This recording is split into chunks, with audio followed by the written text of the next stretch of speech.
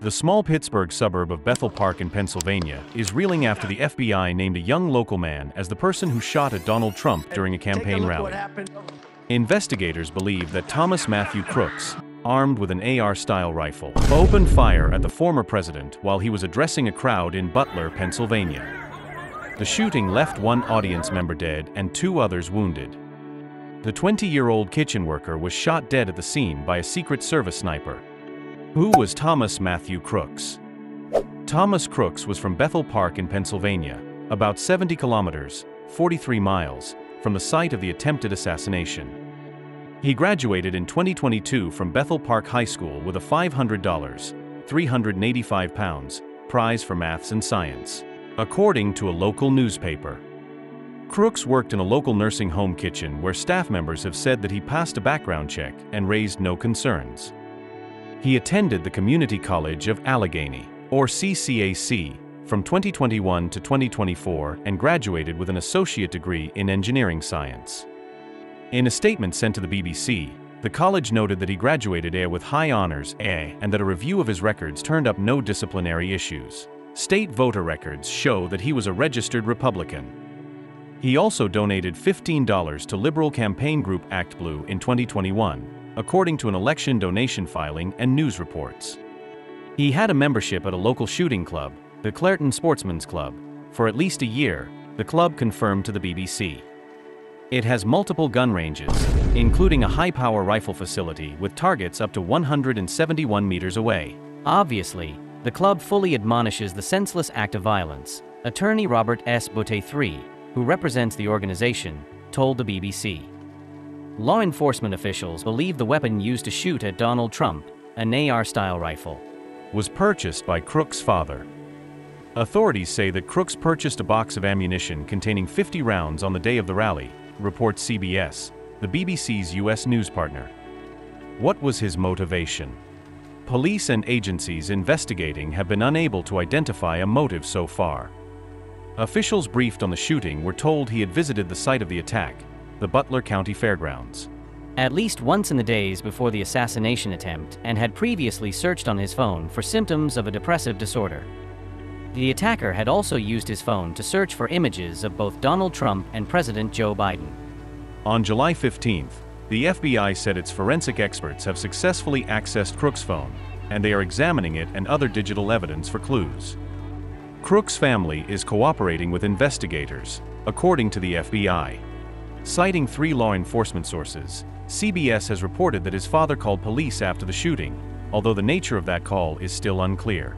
FBI Director Christopher Wray told U.S. lawmakers that more than 200 interviews have so far been conducted and 14,000 images reviewed. Police believe Crooks acted alone, but are continuing to investigate whether he was accompanied to the rally.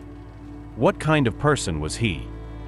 So far, a confusing and at times conflicting picture has emerged of who Crooks was as a person. Speaking to local news outlet KDKA, some young locals who went to school with him described him as a loner, who was frequently bullied and sometimes wore hunting outfits to school.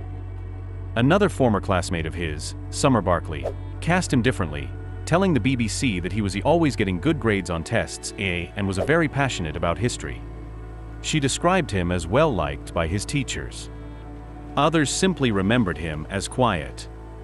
Another classmate who did not want to be identified described him as intelligent but a little weird. Staff at Angelo's Pizza, a restaurant in Bethel Park, told the BBC they were familiar with Crooks.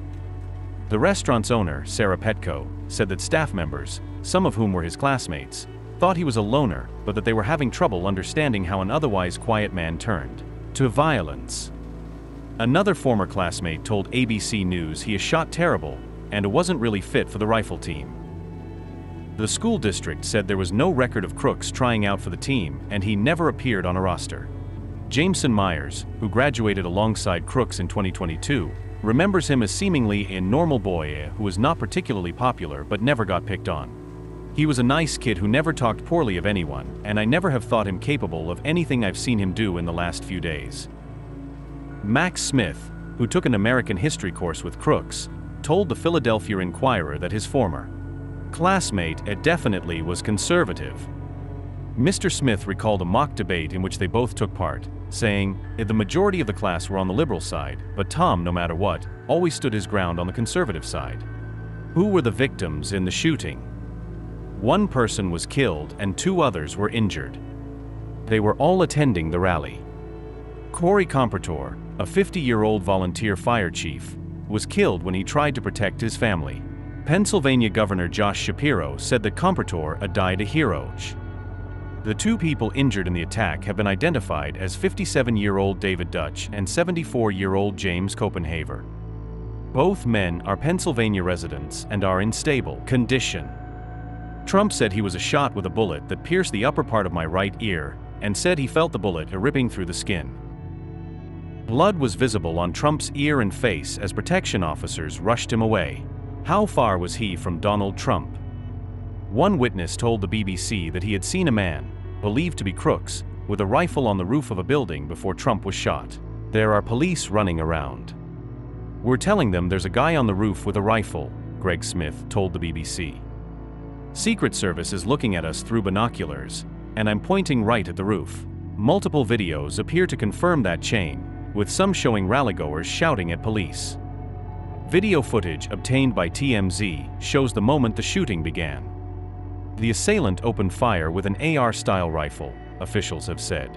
His shooting position was approximately 443 feet 135 m from Trump. A Secret Service sniper returned fire and killed the gunman, officials said. Footage later shows armed officers approaching a body on the roof of the building.